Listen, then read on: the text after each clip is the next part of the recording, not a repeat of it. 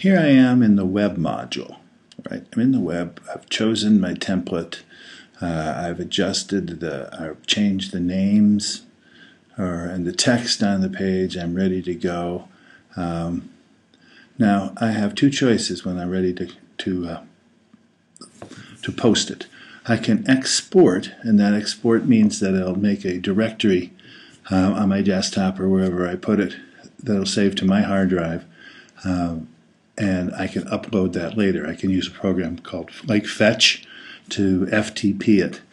Um, or I can burn it onto a CD or mail it or whatever I want with it.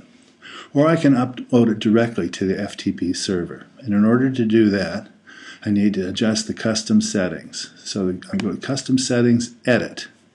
And these are the settings. stu.wccnet.edu, the student username, um, and their password,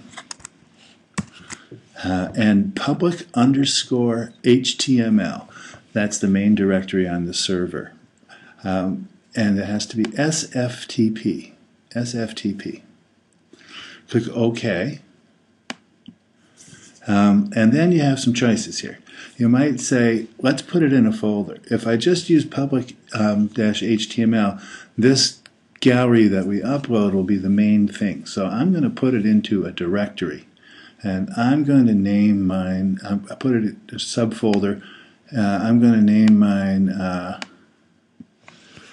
oh, photo 228 gallery. That's the subfolder. And I noticed I didn't use any spaces or I could use a hyphen or whatever. Uh, but this will be part of the URL. All right, so when I've got that set, put it in a subfolder that I've named. Uh, I click Upload. Uh, ask for my password again. Click Upload. And then it goes through the process of uploading. And I'm going to pause. All right, so here I am. I'm back on my movie. Um, let's go to Fire or Firefox and take a look. So here's what the URL should be. URL will be stu.wccnet.edu slash um, tilde and then the username, msmith66 in my case, then slash, then the name that I put. So photo 228 gallery. That's what I put. And that should take me to my page. There you go.